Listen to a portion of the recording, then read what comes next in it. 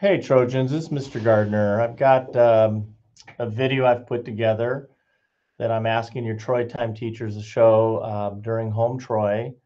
And uh, hope you'll take a few minutes to look at this, um, spend a few minutes afterwards asking your Troy Time teacher some questions to help clarify. Um, so I'm going to go ahead and start the information right now. Okay, we know we have Troy time, but we're going to move into something that's called Troy time, and I'm just going to refer to it as TT in some of the text you'll see on the slides, but something called student request, okay? And we know right now, uh, when we started the year, all students have a home Troy time. You know, you spent the better part of a week, two, even three weeks in your home Troy times. And in Skyward, that's shown as a 401. We know after about the fourth going into the fifth week of school, we got our first mid-quarter grades that came out mid-quarter one, and that's when we instituted intervention Troy time for students that had low grades. And what we try to do is get to the students who just have a few things they need to take care of, okay? And it's students that might have an E grade where you were sitting between 50 and 60%. It could just be, you know, a test retake, getting some work done, things like that. You shouldn't have to spend a ton of time in an intervention Troy time but once you got scheduled that, you were expected to go to that. That didn't go so well.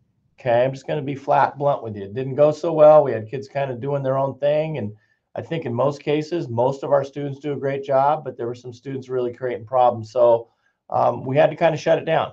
And uh, we basically said that we need to be in our home Troys. And we stayed there for a little bit. We got the intervention Troy going again.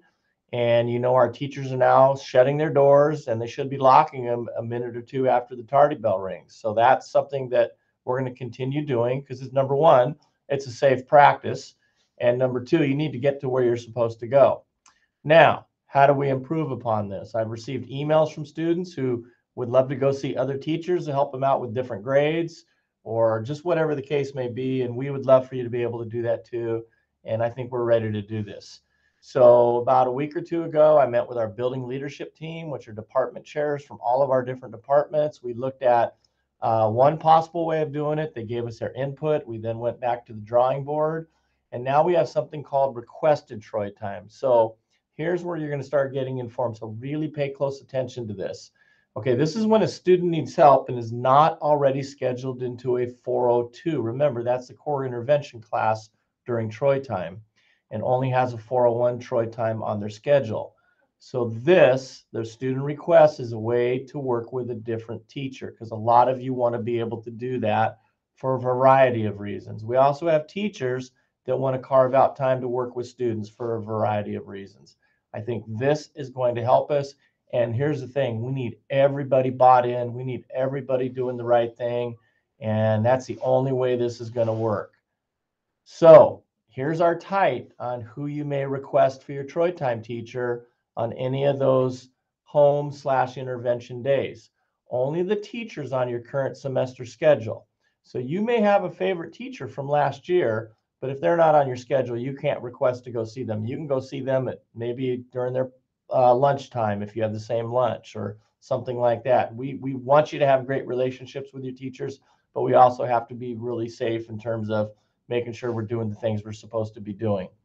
Okay, so here's step one, and I really need the teachers and the students to pay attention right now. Step one, student is, is assigned to a home Troy 401, and what they're going to need to do is they're going to need to email the teacher they're requesting to go to. They would be on the email to line. And then you're going to notice in your emails, you should, your teachers might have to help you with this if you don't have a lot of experience with emailing.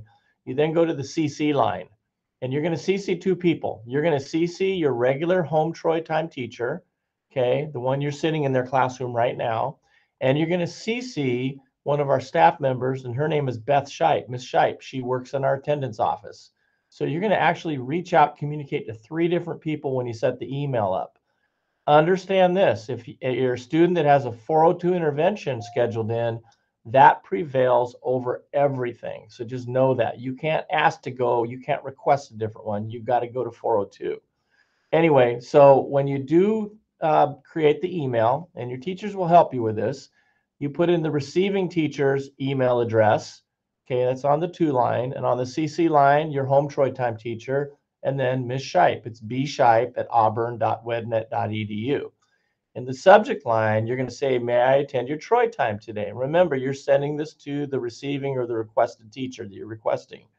You then could type in your reason why. Your teacher may already know. In fact, your teacher may have already prompted you in class that same day or the day before to do this because some teachers are going to want you to be there. Okay, here's the tight. The request must be emailed, okay, by the student by 9 10 on the same day. You got to get it in that morning. We want to throw in a little trigger, a little reminder. Well, breakfast after the bell is that reminder. So the day of, you're trying to go to request a teacher. You see the kids lining up, the other students lining up for breakfast. It might be you. That reminds you, oh, yeah, I have to make sure I email my teacher. Okay. Then you got to play the waiting game. Okay. Student waits for the email reply and it's going to reply all. So if you're the requested teacher, you got to reply all. You're replying to the student, to the home Troy teacher, and also to Ms. Shipe. And you got one or two things you can say. You can say yes, okay, which is awesome, or you say not today. So if it goes that route, if the reply is not today, um, or there is no reply, because sometimes there might be a substitute teacher that the student doesn't know about, they're not going to reply. So take the no reply as a not today. If that's the case, the student then attends the home Troy time. You got to go there. Okay. And remember, this request for a Troy time is only for students that don't already have an intervention. All right, let's go to the positive side of this. If the reply is yes, you then get to go to the requested Troy time teachers class. There's no hall passes. This is your electronic hall pass. Okay, the default is the student is present, no further action needed when student shows up to the requested Troy time class we're banking on the fact that our students are going to do the right thing. They're going to go where they're supposed to get to, and they're going to get that requested class. They're going to check in with their teacher, and the teacher then can start working with you. Okay. Understand this admin will be around to check the emails of those students who seem to take their time getting to their Troy times. Please don't say we're hassling you. We just need to know where you're supposed to go. So you're going to need to show us with your Chromebook or your personal device. Hey, here's the email. I'm going to go see Mr. So-and-so, Miss So-and-so, here's my proof, and then you need to get there. Okay, if the student does not make it to the requested Troy time, the requesting Troy time teacher will reply all, and they're just going to type in the word absent. So that absence now been recorded with Ms. Shipe. The absent has been recorded with their home Troy time teacher who needs to make that attendance adjustment in their Troy time because they're still a home Troy time student. They've just requested to go somewhere else. So when all that happens, students, your parents are going to get, your family's going to get a phone call home that you didn't make it to where you're supposed to go. And we're going to have this electronic paper trail so everything's covered. It's allowing students to do the right thing. And all we expect you to do is do the right thing. And then you can go to where you need to go in most cases. Okay, students will stay in the requested Troy time for the entire 30 minutes. You can't come and go. You got to be there. Again, we got to make sure we're doing this right. We're going to try it for a week. If it goes really well, we'll continue on the next week. But you got to show us you can handle it. I believe you can. That's why we spent so much time in developing this. And we're going to release this information to your parents, not so um, drawn out, but we're going to kind of tell them how you're able to uh, navigate the system here at school. And this is for all students. Again, if you're in an intervention, Troy, that kind of supersedes or trumps all of these things. So now would be the time to shut this off. Now would be the time for students to ask their Troy Time teachers questions. And if you guys can't answer them, please have your Troy Time teacher email me and I'll get back to everybody. Thank you so much. Thanks for listening.